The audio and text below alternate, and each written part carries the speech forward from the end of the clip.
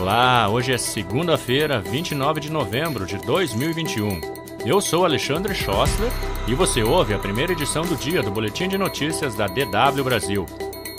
Confira nesta edição. Variante Omicron do novo coronavírus já está em mais de 10 países.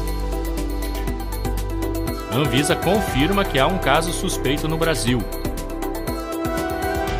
África do Sul diz que restrições de viagem são discriminação.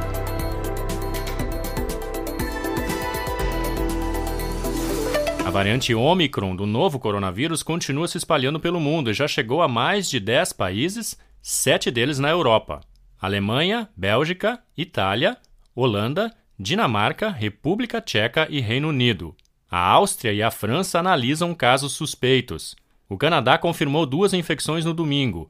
Israel também tem um caso confirmado. A variante Omicron é potencialmente mais transmissível e foi detectada pela primeira vez na África do Sul no início do mês e comunicada à Organização Mundial da Saúde na quarta-feira da semana passada. A nova variante levou vários países a anunciar restrições a viajantes vindos da África do Sul e de outras nações africanas. No continente africano, Botsuana também já confirmou oficialmente infecções com a Omicron.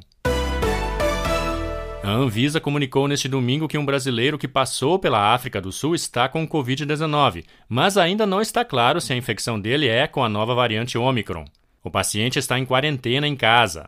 Ele desembarcou em Guarulhos no sábado, vindo da Etiópia. O site G1 noticiou que o paciente tem 29 anos, está totalmente vacinado e tem apenas sintomas leves da Covid-19. Por causa da variante Ômicron, o governo brasileiro seguiu recomendação da Anvisa e proibiu a entrada no Brasil de pessoas vindas da África do Sul, de Botsuana, da Suazilândia, de Lesoto, da Namíbia e do Zimbábue. Mais tarde, a Anvisa adicionou outros quatro países à lista: Angola, Malawi, Moçambique e Zâmbia. Mas o governo brasileiro ainda não proibiu o ingresso de pessoas vindas desses países. O presidente da África do Sul apelou a países de todo o mundo para que encerrem logo as restrições a viajantes vindos do sul do continente africano. Cyril Ramaphosa disse que se trata de uma medida injustificada e discriminatória, para a qual não há justificativa científica. O chefe de Estado afirmou que o bloqueio apenas prejudica ainda mais a economia e dificulta a capacidade de resposta perante a pandemia de Covid-19. Ele acrescentou que a África do Sul caminha para uma quarta onda de infecções e apelou à população para que se vacine. O Brasil, o Reino Unido, os Estados Unidos e vários países da Europa impuseram restrições para viagens com origem na África do Sul e países vizinhos. Japão e Israel fecharam as fronteiras para todos os estrangeiros.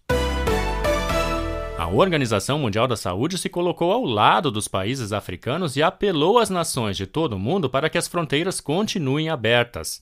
A OMS também defendeu o que chamou de abordagem científica baseada na avaliação de riscos.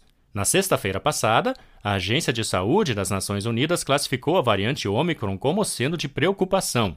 Especialistas temem que a nova variante possa reduzir significativamente a eficácia de vacinas. Ainda não está claro, porém, se a Omicron é de fato mais transmissível e quais os efeitos dela na imunidade e na severidade da doença Covid-19.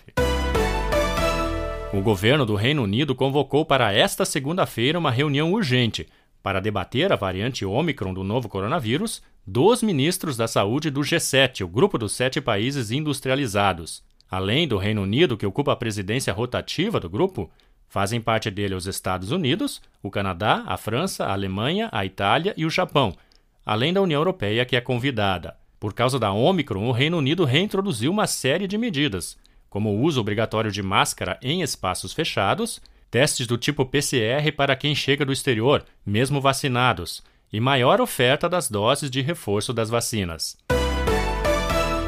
O candidato do PSDB à presidência da República em 2022, o governador de São Paulo, João Dória, declarou que é possível uma aliança com o ex-ministro e ex-juiz Sérgio Moro.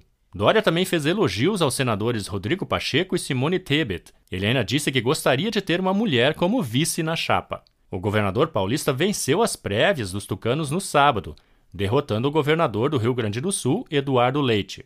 Dória busca espaço na chamada terceira via, onde estão, além dele, de Moro, Tebet e Pacheco, ainda Ciro Gomes, do PDT, e Luiz Felipe Dávila, do Partido Novo. Pesquisas colocam o ex-presidente Luiz Inácio Lula da Silva na liderança da corrida eleitoral, seguido pelo presidente Jair Bolsonaro.